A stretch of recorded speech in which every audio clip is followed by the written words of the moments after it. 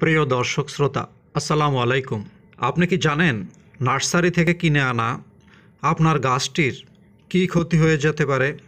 শুধুমাত্র একটা খেয়ালের বলে, আপনি হয়তো নার্সারি থেকে গাছ এনে গাছ লাগিয়ে মনের সুখে অপেক্ষা করছেন, কখন গাছ বড় হবে, কখন ফল ধরবে, এসব দৃশ্য দেখে মনটাকে শীতল করব, ইত্যাদি ইত্যাদি। আপনি হয়তো জানেনও না, নার্সারি থেকে আনা আপনার ছোট্ট কলমের গাছটি অতি ক্ষুদ্র একটি কারণে বা ছোট একটা কাজের জন্যে কত বড় ক্ষতি হয়ে যাচ্ছে। তবে চলুন, আজকে জানাচ্ছি সেই ছোট কাজটা কি, কেন খেয়াল করতে হবে, আর কত বড় সর্বনাশই না আমাদের হয়ে যেতে পারে। যদি না, ওই বিষয়টা আমাদের গাছে বিদ্যমান থাকে। তাই অবশ্যই নার্সারি থেকে আমরা প্রথমেই খেয়াল করব আমাদের যেই কলমকৃত চারা গাছটা, সেটা যে জয়েন্ট করেছে, অর্থাৎ যেখানে কলম করেছে, সেই জায়গাটায় পলিথিন পেঁচানো আছে কিনা। যদি আমরা দেখি পলিথিন পেঁচানো আছে, তবে আমরা এনে গাছটাকে ঠিকই আমরা আমাদের টবে লাগাবো, কিন্তু খেয়াল রাখব কখন গাছটা মোটা হয়ে যায়, পলিথিনটা ফুলে উঠে। যদি দেখা যায় পলিথিন টাইট হয়ে গিয়েছে, ফুলে উঠেছে, তখনই আমাদের সেই কাজটা করতে হবে। এখন আমরা আপনাদেরকে দেখিয়ে দিচ্ছি সেই কাজটা, যেই কাজটা এই মুহূর্তে বা এই পরিস্থিতিতে অতি জরুরি। এই জরুরি কাজটা না করলে আপনাদের গাছ আর তেমন বৃদ্ধি পাবে না, আর যেই পলি পেঁচানো বা যেই কলমের জায়গা, সেই জায়গাটা সরু হয়ে একসময় ভেঙে যাবে ঝড় বাতাসে। যে কোনো কলমের বাদন বা জয়েন্টের পলি অর্থাৎ যে কলমকৃত অংশ, সেই অংশের যে বাদনটা পলিটা, এটা খুলতে আমাদেরকে বিশেষজ্ঞ হওয়ার প্রয়োজন নাই, তবে সতর্ক হতে হবে। আমাদেরকে অবশ্যই সতর্ক থাকতে হবে, সাবধানতার সহিত কাজটা করতে হবে। এর জন্য আমাদেরকে একটা ধারালো নাইফ নিতে হবে। কলমের বাদন কাটার জন্য অবশ্যই আমাদেরকে ধারালো কোনো কিছু নিতে হবে।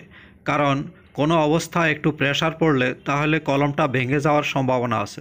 আর যদি আমাদের আরেকটা গার্মেন্টস আইটেম যন্ত্র আছে এখানে, দেখতে পেলেন অতি ক্ষুদ্র একটা যন্ত্র। এরকম যদি যন্ত্র আপনাদের এখানে থেকে থাকে, তাহলে আপনারা সেটা নিতে পারেন, সেটাকেও কাজে লাগাতে পারেন। দেখতে পাচ্ছেন আমরা এই ছোট্ট যন্ত্রটাকে কাজে লাগাচ্ছি।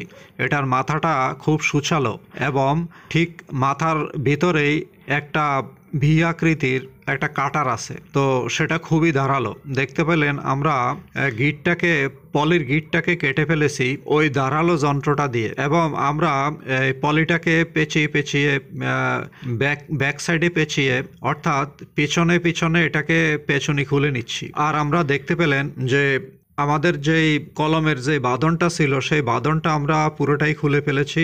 এখন কলমটা পুরো ফ্রি এখন কথার ছলে বলতে পারি একেবারে মুক্ত বিহঙ্গ। গাছ পুরোটাই স্বাধীন এবং এবার গাছ বেড়ে ওঠার জন্য যথেষ্ট নিজেকে প্রস্তুত করবে এবং ঝেড়ে উঠবে, বেড়ে উঠবে। প্রিয় দর্শক শ্রোতা, এটা আমার নিজের বাগানে লাগানো অতি প্রিয় বারো মাসি মিষ্টি জলপই, অর্থাৎ অলিভ গাছ, অলিভ প্ল্যান্ট। বুঝতেই পারছেন, এটা অনেক শখের গাছ।